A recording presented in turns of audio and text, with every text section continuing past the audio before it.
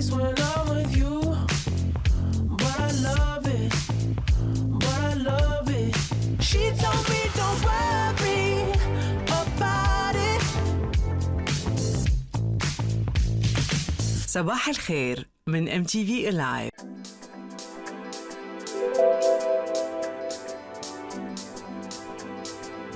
يسعد صباحكم مشاهدينا وين ما كنتوا عم بتابعونا بلبنان بالدول العربية وبكل أنحاء العالم. بنحييكم وبنتمنى لكم بداية weekend بعيدة عن المشاكل والمتاعب ومليئة بالتسلية والمرح مع كل اللي بيعزوا على قلوبكم.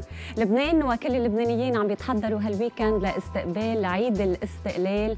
وصرنا زمان ستيفاني صباح الخير. صباح النور. صرنا زمان ما استقبلنا هالعيد بهالتفاؤل وبهالأمل الموجود وين ما كان بلبنان. صح. وأكيد بدنا نعيد المشاهدين حتى ولو مسبقا. إن شاء الله بينعاد على الجميع بالخير الصحة والسيادة. وكل اللي عم يحتفلوا اليوم بأي مناسبة حلوة. وإذا كان عيد ميلادكم بنقول لكم happy birthday أنا بكرة. أنت بكرة؟ شفتي حسيت في مناسبة حلوة جاية؟ بنعيدك كمان مسبقا. عقبال المية. ومن المشاهير اللي اليوم عم بيحتفلوا بعيد ميلادهم الملياردير الأمريكي تيد تيرنر آه، مؤسس قناة سي ان ان العالمية. اللي معروف Scorpio. أكيد Scorpio ويعني نجاحه بعالم صح. الأعمال بدل على هالشيء وكمان معروف كثير بأعماله الخيرية والإنسانية. وأبرزهم مبلغ بقيمة مليار دولار قدمه لمنظمة الأمم المتحدة لدعم مشاريعها ونشاطاتها بأكثر من 115 ألف دولة بالعالم. حبيت أذكره وحييه على هالروح الإنسانية الكبيرة. ونذكر المشاهدين قد إيه العطاء مهم آه، لأنه العطاء فرحته مزدوجة. مش بس المتلقي بيفرح يمكن فرحة الشخص اللي بيعطي هي أكبر. أكيد. فمع بداية هال weekend هيك عندنا شوية وقت فراغ بنفكر بغيرنا وبنفكر بموضوع العطاء. شو عنا اليوم بفقراتك؟ اليوم مع رندا فهد بدنا نحكي عن المشروبات الروحية. كمان بنيتشر عنا ضيف واليوم حذري شو فيه جاتو شو؟ وشوكولا شارل معنا شارل بتعرفي كنت معنا عم فكر فيها بغرفة المكياج إذا- إذا رح يقدر يجي أم لا لأنه بعرفه مشغول كثير صح. بال Salon du Chocolat وبالإنجاز الكبير اللي عمله شفتي الصور وهالفستان بياخد لفستان العقل. الشوكولا هو أكيد بده بالتعاون مع. المصمم اللبناني العالمي رامي قاضي صح. آه، فستان بياخد العقل و... برافو شارل وبيتاكل أكل مثل ما قلت ومعروض حاليا بال Salon du Chocolat. كمان من فقراتنا المميزة اليوم آه، اثنين segments من Wall of Fame ضيفين. آه، الضيفة الأولى هي ال soprano اللبنانيه تانيا قسيس مؤسسة جمعية One لبنان رح تخبرنا عن النسخة الثالثة لهالحفله رح يصير الأسبوع القادم ب 25 الشهر بمشاركة أكثر من 30 فنان اعلامي وممثل. وهذا حفل منتظر. وكمان ب Wall of Fame الممثل اللبناني دوري سمراني أحد أبطال فيلم يلا عقبالكم شباب. وأكيد كثير طلع على بالي احضر كثير هالفيلم كثير خاصة إنه هالفيلم بيحكي عن قصص من واقع مجتمعنا وبيحكي بكل شفافية عن شفافية وجرأة عن الزواج وطلاق وكل شيء in between أو إذا بدك. بينات بين هالموضوعين. فناطرين هاللقاء اليوم ب Wall of Fame نبدأ أنا وياك Up To Date. هلا. أخبار من لبنان والعالم بعد هالوقفه القصيرة مشاهدينا ضمن Up To Date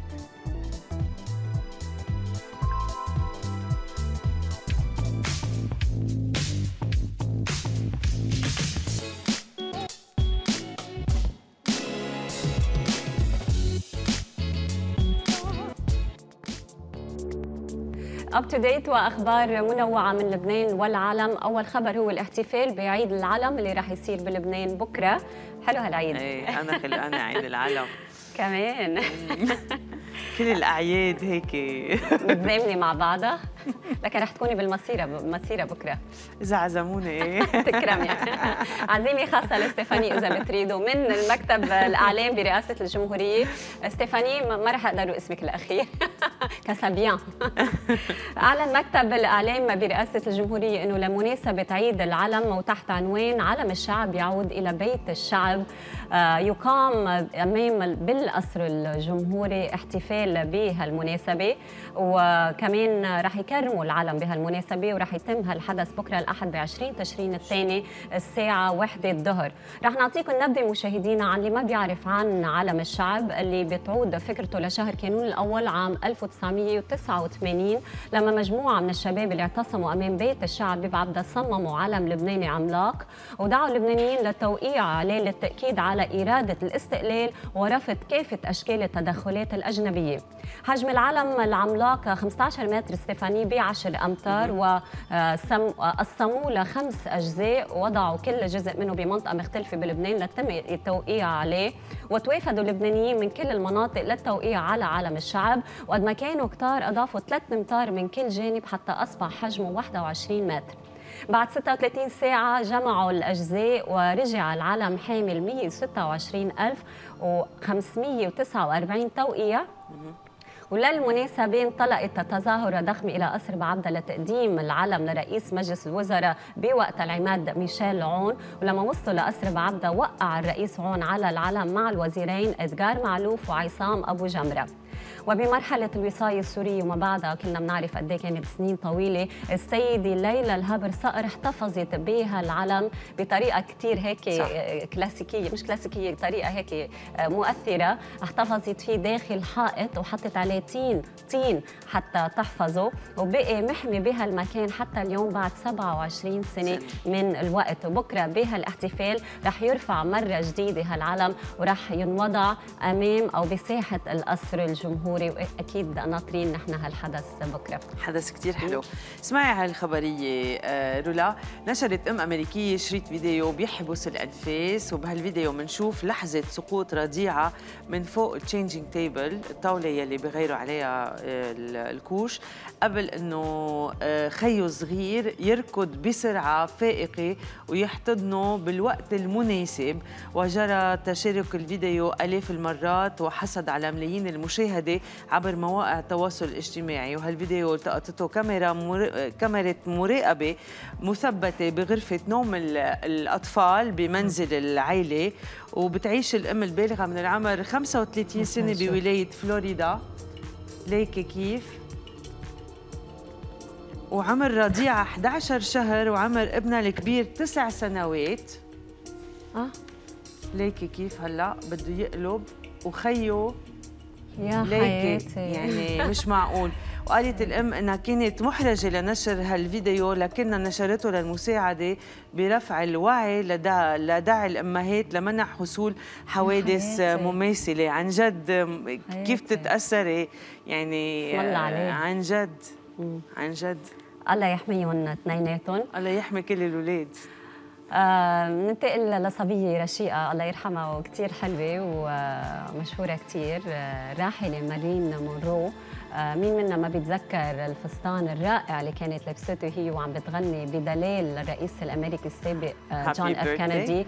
happy birthday Mr. President. الفستان ستيفاني بيع مؤخرا بقيمة 4.8 مليون دولار بمزاد وعام 1962 كانت لابسة هالفستان. آه كثير مكسم وبيع مثل ما قلت ب 4.8 مليون دولار بمزاد بلوس أنجلوس، مين الشاري؟ مين اللي دفع هالمبلغ الكبير؟ دار Ripley's Believe It or Not. هن اللي اشتروا هالفستان اللي من تصميم جون لويس مغطى بأكثر من 2500 قطعة كريستال ومخيط يدويا وهذا كان شيء كثير يعني إنجاز بوقتها. وكان من لون بشرة مارلين مونرو قد ما كان ضيق عليها.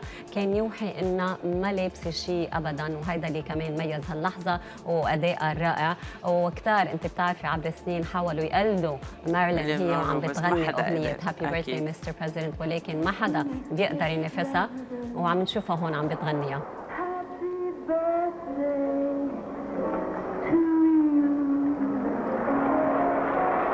amazing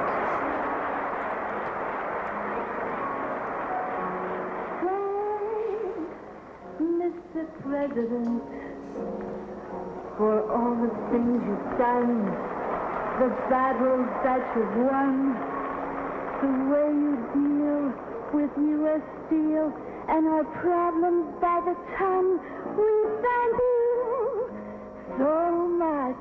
Everybody, happy birthday!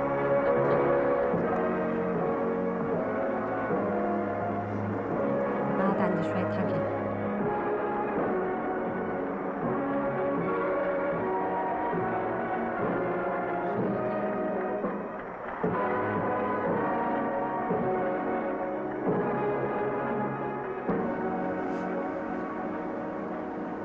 Happy Birthday Mr. President الأغنية الرائعة اللي أصبحت خالدة خاصة مع أداء الاستثنائي آه، كانت عم تغني هالأغنية بحفل بماديسون سكوير جاردن صالة ماديسون سكوير جاردن بنيويورك بحفل لجمع الأموال لحزب الديمقراطي اللي بينتمي له جون إف كينيدي عام 1962 وبما أنه طلبوا منا أنه تقدم شيء للرئيس بوقتها عرفت أنه كمان عيد ميلاده قادم بعد أسبوعين حبت تعمل له مفاجأة.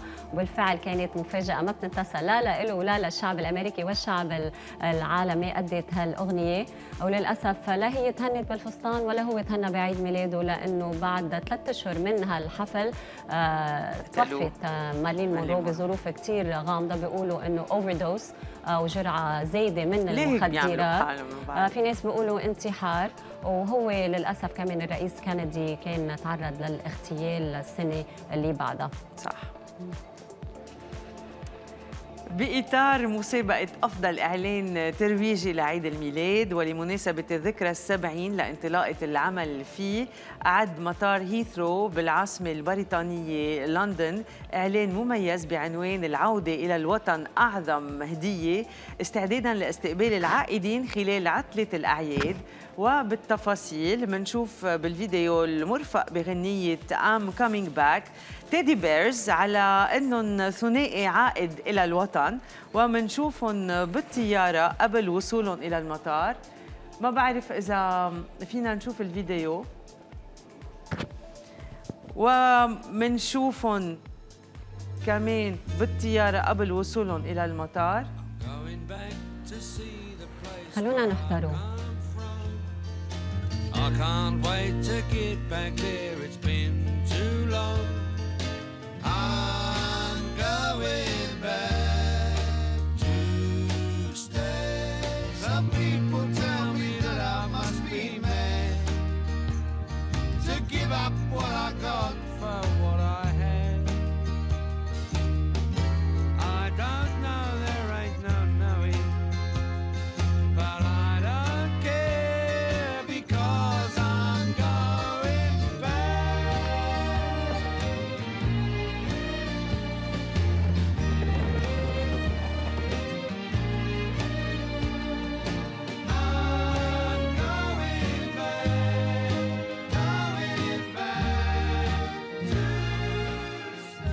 وبختام الفيديو بيتحولوا التيدي بيرز إلى جد وجدة وبيستقبلون أحفادهم بفرح.